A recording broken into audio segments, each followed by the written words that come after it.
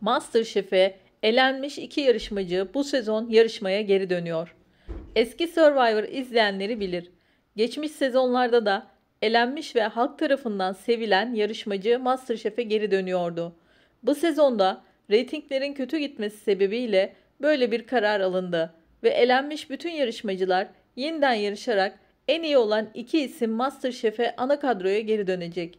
Bu sezon MasterChef'te oldukça başarılı olan isim Serhat ilk giren isimlerden olmuştu ve ilk hafta elenmişti.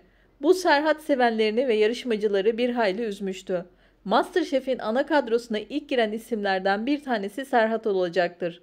Bir de biliyorsunuz ki MasterChef'e kaoslarıyla, kavgalarıyla damga vuran Deniz. Deniz'in gitmesiyle MasterChef'te sükunet hakim oldu. Bunun yanında Ümmühan ve Zeynep de var tabi. MasterChef'e giren ikinci isim de bu üç isimden bir tanesi olacağını düşünüyoruz. Peki sizler MasterChef'in ana kadrosuna hangi iki ismin girmesini istersiniz? Bu kararı doğru buldunuz mu? Yorumlarda bize düşüncelerinizi belirtin.